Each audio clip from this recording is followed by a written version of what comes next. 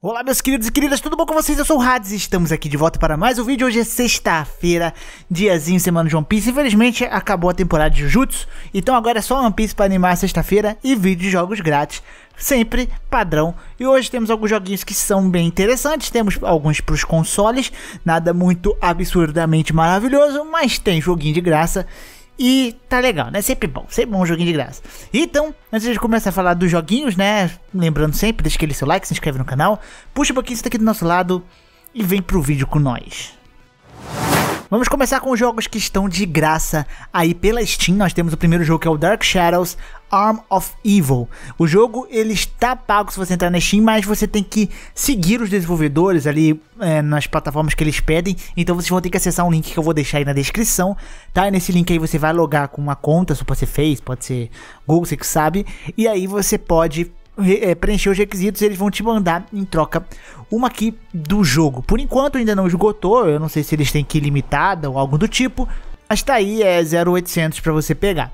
Tá? E esse jogo ele conta a história de um exército do mal chamado Dark Shadow e que chegou no país e está destruindo ali o país, aterrorizando as pessoas e blá blá blá. E aqui a gente tem um jogo de hack and slash de ação de primeira pessoa. Você tem 19 levels, várias arminhas aí disponíveis. Você pode achar armas diferentes cada level, né? E aí você vai enfrentando esses inimigos. O jogo tem um gráfico até bem simples, porque é uma desenvolvedora pequena, mas pode ser extremamente divertido aí. Para quem gosta desse estilo de jogo mais medieval, primeira pessoa, lembra um pouco de Elder Scrolls, só que obviamente com muito menos orçamento, né? Mas ainda assim, é um jogo que pode ser interessante ou apenas para você encher sua biblioteca da Steam também é válido. Então, ele está em 0800, lembrando que eu vou deixar o linkzinho dele na descrição aí para vocês. Outro jogo que está 0800, dessa vez direto da Steam, onde você vai economizar quase 40 reais, porque ele dá 36 reais, é o Steel Rats. Aqui nós temos um jogo que é baseado em motos em uma plataforma de 2.5D, onde você vai ter combate com motos, é pior, é isso mesmo. E óbvio que você vai ter aquela mesclagem como jogos 2D de moto, fazendo várias manobras, atravessando o mundo futurista do jogo, e você vai participar de uma gangue né, de motoqueiros aí, que você vai lutar contra robôs alienígenas invasores. É, é uma mistura de loucura esse jogo. Parece ser meio interessante, eu não sei, eu vou pegar ele na aqui e ele aí vai ficar 0800, tá? Até o dia 4 de abril e pegando ele é seu para sempre. É um daqueles que vale a pena se você não curte o estilo, deixar lá na sua biblioteca da Steam, pegando poeira, mas fazendo um volume aí. Então, esse é o jogo aí da Steam.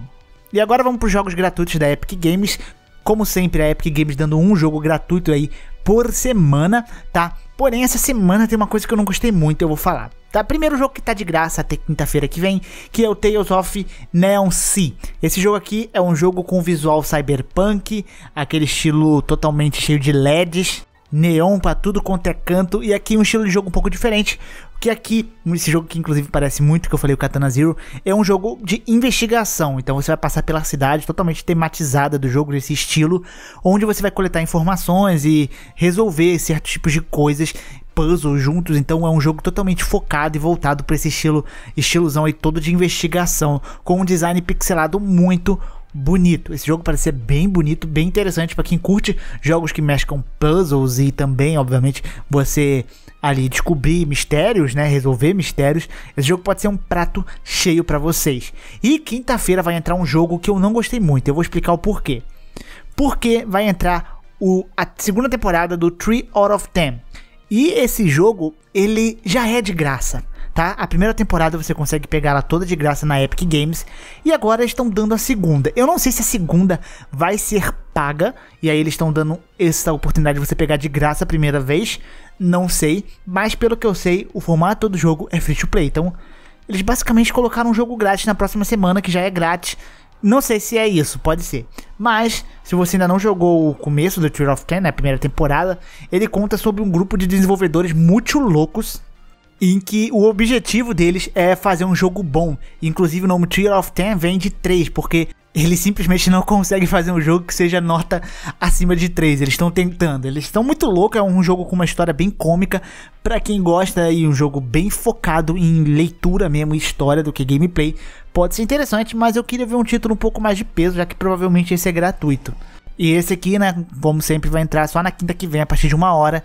Então, esses daí são jogos grátis da semana da Epic Games. E temos aí o período aberto de teste para você poder jogar o Knockout City. Esse jogo é mais daqueles jogos massivos que meio que são esperados em Battle Royale, que eu não acho que vai dar muito certo. Não sei, mas ele pode ter uma mecânica divertida. Diferente dos Battle Royales, aqui você tem a mecânica de queimada. Acho que todo mundo já jogou queimada, né? Com um gráfico que lembra bastante até o próprio Fortnite, mas com uma jogabilidade bem diferente. Então você tem mais, tipo, mais movimentações verticais. Você vai jogar bola nos inimigos ao invés de você matá-los, né? Então é um jogo realmente com essa mecânica aí de queimada. E você vai poder jogar ele gratuitamente aí entre o dia 2 e o dia 4 de abril, tá?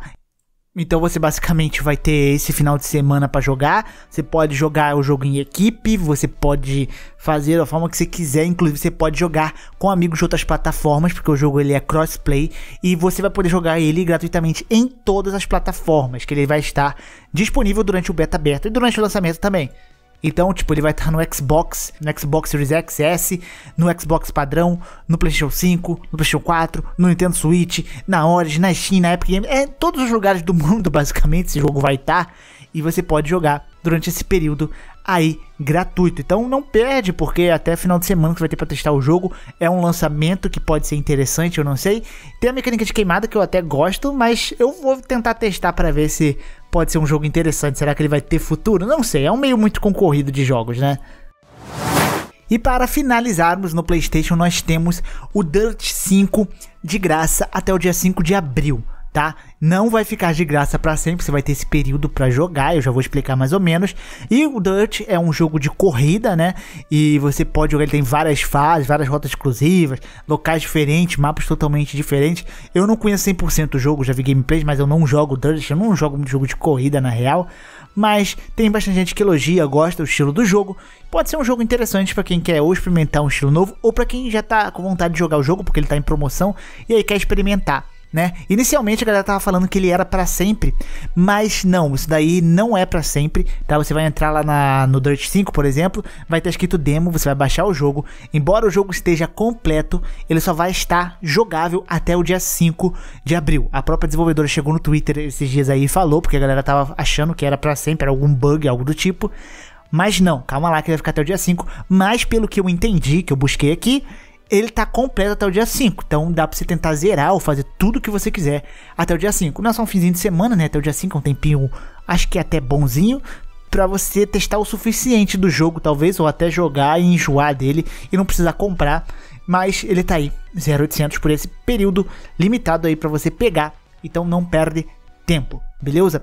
E só para finalizar, passar aquela pincelada rápida, relembrando que estamos com os 10 jogos ali da 9, né, da Player Home, então você vai poder pegar todos esses jogos aí gratuitamente, jogo VR, jogo indie, são esses jogos que vocês estão vendo aí na tela, então já falei nos outros dois últimos vídeos, então só tô passando bem rápido para avisar que ainda dá para pegar se você está acessando o vídeo a primeira vez ou se você ainda esqueceu e não pegou. Então pega, é só entrar no Play e procurar por cada jogo aí que tá mostrando e você vai baixar gratuitamente para sempre na sua biblioteca. E esse aqui é o vídeo, meus queridos, espero que vocês tenham gostado, se vocês gostaram, não esqueça de deixar seu like, se inscrever no canal.